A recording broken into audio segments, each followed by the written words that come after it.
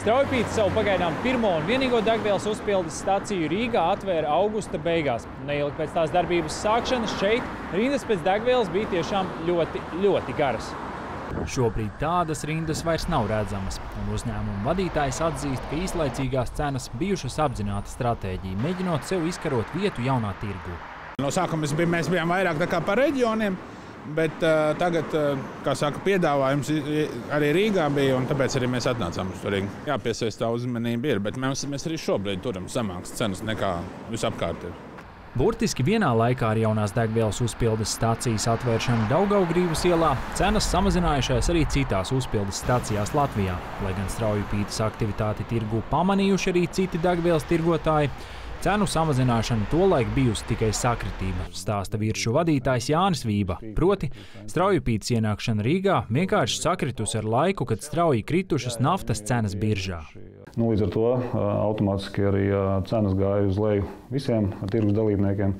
Kāds varbūt to varēja interpretēt, ka tas ir tāpēc, ka ir viens tirgus spēlētājs kaut ko darījis, bet nu, tā gluži nav. Mhm. Tajā pašā laikā, protams, jāpiemina, ka jebkura konkurenta ienākšana tirgu, tas ir apsveicami. Jo, nu, protams, ka šajās cīņās, kas ir pietiekama masa, degvielas nozares, nozarē tad iegūst protams, klients cenošanas veidā.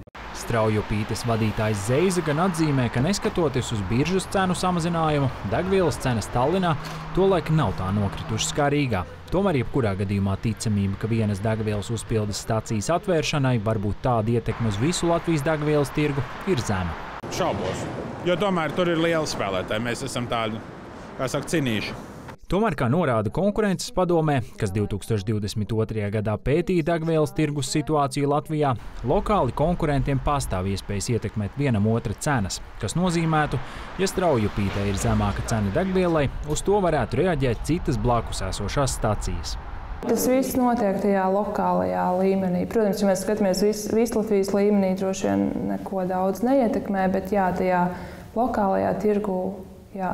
Jo arī, ja paskatās to tirgu, tad tās, tur ir neste un, man liekas, Circle K tur tūmā, un tās cenas tajā apkārtnē ir zemākas nekā varbūt kaut kur citur, ja mēs Rīgā skatītos. Padome arī izpētījusi, kā veidojas degvielas cena tirgu. Apmēram 46% veido naftas cena biržā, 47% nodokļi un nosacīti tikai 7% tā saucamais uzcenojums, kur ietvertas arī degvielas uzpildes staciju uzturēšanas izmaksas. Kas praksē nozīmē, degvielas tirgotāja iespējas ar cenu variēt patiesībā nemaz nav tik ievērojamas. Krišs Kairs Reins Brūvelis, Latvijas televīzija.